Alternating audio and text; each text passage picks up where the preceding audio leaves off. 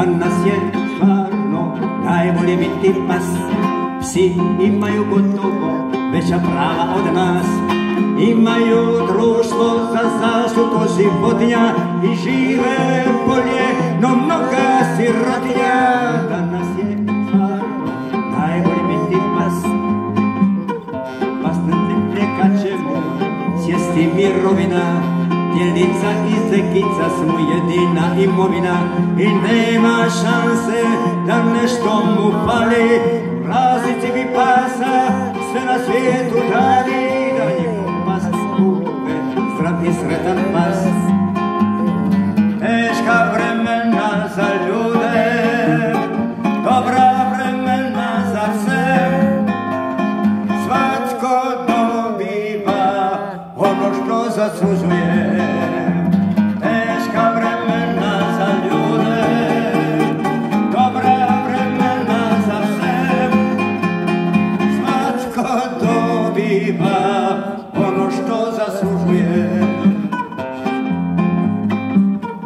Danas ljudi svoje pse maze i ljube Četkaju im lako, čak im peru zube.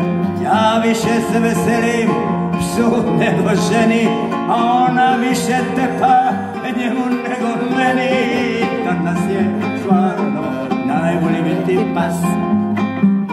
I što se više družim sa ljudima Sve više i više i više vjerujem svima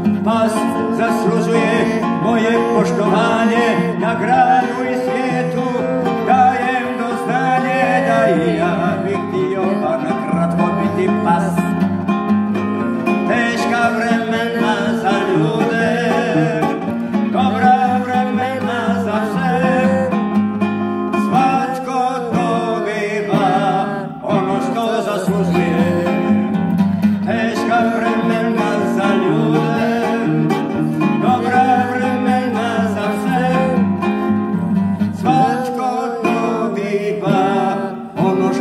što zaslužuje Danas je stvarno najbolje biti